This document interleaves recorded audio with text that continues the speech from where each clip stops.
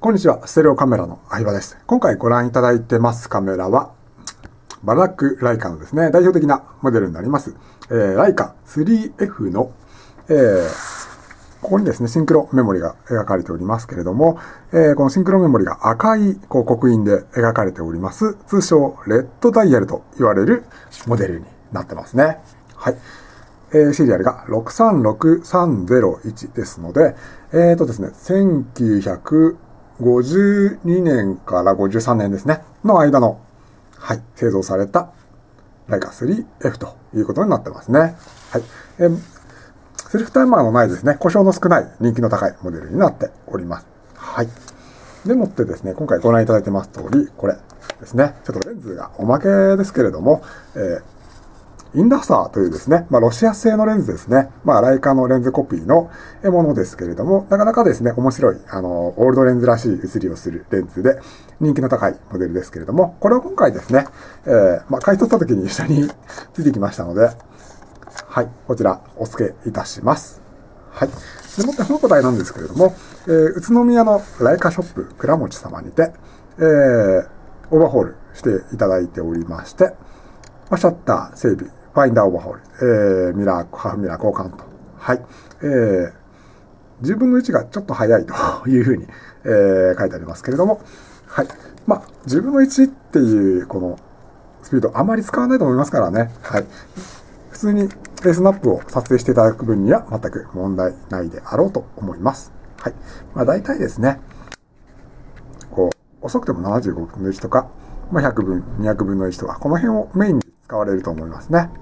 はい。ということで、はい。えー、オーバーホール済みのライカ、えー、3F ですね。インダスタースキー 50mm ですね。はい。じゃあ外観から見ていきますね。えー、外観はですね、えー、ご覧いただいてます通り、こう目につくすれ当たりへこみとかは見られず、おおむね、まあ備品といっても差し支えない状態かなと思いますね。えー、こういうダイヤルのですね、メッキの摩耗とかすれもありませんし、えー、アイキャップの割れなどもないですね。え、金属の腐食、えー、メッキの剥がれもありませんし、こうダイヤルの摩耗ですね、当たりありません。えー、マウントも綺麗。底蓋も、細かいスレは、えー、やっぱりちょっとした癖もあるんですけども、えー、ガリガリとやった後とか、三脚の後、え、地面に落としたりった後は見受けられないです。で、針側もですね、こういった、えー、欠けたり剥がれたりしやすい部分もしっかりしておりまして、こう浮いてパキパキもせずに、手にしっくりと馴染んでいます。針側も100%いい感じですね。はい。で、ファインダーも、え、ハーフミラー交換していただいてますし、分解整備、え、清掃していただいておりますので、えー、ゴミチリ混入とかですね、曇りカビ、バルサミ切れなどもないですね。二重像もですね、こう、くっきりはっきり出ておりまして、え、縦ずれもなく、ピント合わせ、フレーミングともに難のないファインダーキープしてます。はい。という感じですね。えー、じゃあですね、えー、シャッターをチェックしていきましょう。はい。低速から見ていきましょう。低速の1秒からですね。はい。見ていきます。これ1秒ですね。はい。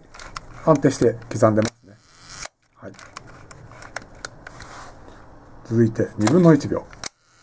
はい。これが2分の1秒ですね。はい。こちらも安定してます。次が5分の1秒です。はい。いいですね。しっかりとして。低速域にシャッターの粘りなどなくですね、えしっかりと動いているのがお分かりいただけます。はい。続いてですね、えー、はい。じゃあ、中速の100分の1秒ですね。えー、スナップなどではよくお使いになるスピードだと思います。これ100分の1秒ですね。安定して、しっかりと、はい、切れてますね。はい。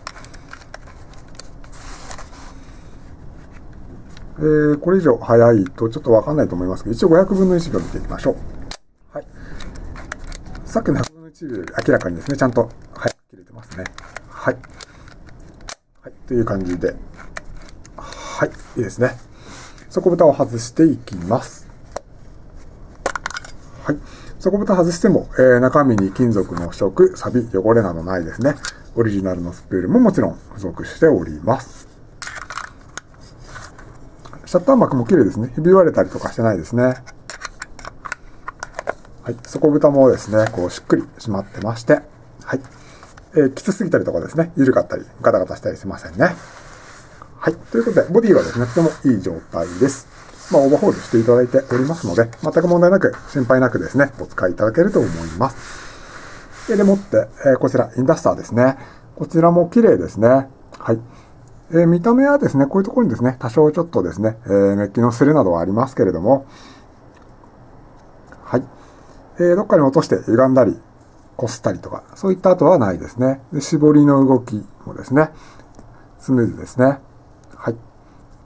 えー、羽の痛みとか油の乗りもないですね。はい。でこれ滑らかに動いてます。はい。で、振動もスムーズ。このロックもしっくりしてますね。ガタガタしてませんね。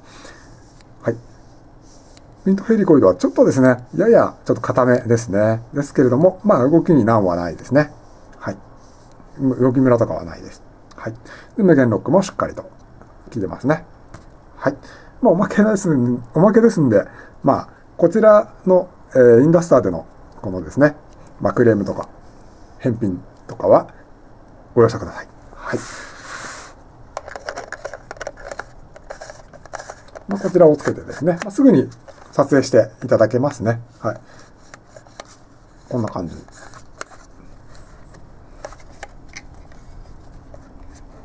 あ、これがですね、ちょっとこれが当たるんですね。この、このレバーが、このファインダーのところにちょっとぶつかる、干渉することがあるみたいなんで、ちょっとこの辺注意してくださいね。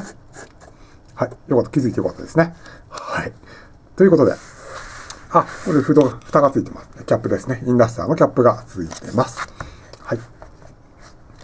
はい。ということでですね、えー、おまけのインダスターレンズ付き、